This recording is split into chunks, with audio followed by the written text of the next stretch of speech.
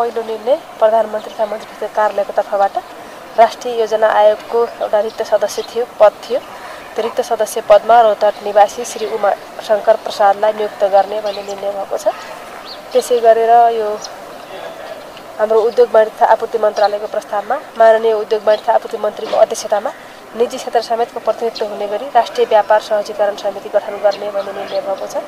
र संस्कृति पर्यटन तथा नागरिक उड्डयन मन्त्रालयको प्रस्तावमा नेपाल वायु सेवा निगम ऐन दुई हजार उन्नाइसको दफा चारको उपदफा चार बमोजिम नेपाल वायु सेवा निगमको रिक्त उपाध्यक्ष पदमा सञ्चालक सदस्य सञ्चालक समितिका सदस्य विक्रम राईलाई नियुक्ति गर्ने भन्ने निर्णय भएको छ।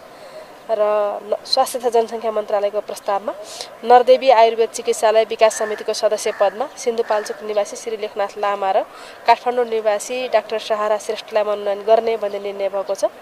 र सुरक्षित कारोबार ऐन दुई हजार त्रिसठीलाई संशोधन गर्न बनेको विधेयक सङ्घीय संसदमा पेश गर्न स्वीकृति दिने भन्ने पनि निर्णय भएको छ। आज प्रहरी समायोजन समय त्यस्तो आएको छैन। सङ्गठन संरक्षण सम्बन्धी केही प्रस्तावहरू पारित भएका छन् तर त्यस्तो समायोजनकै विषयमा आज केही आएको छ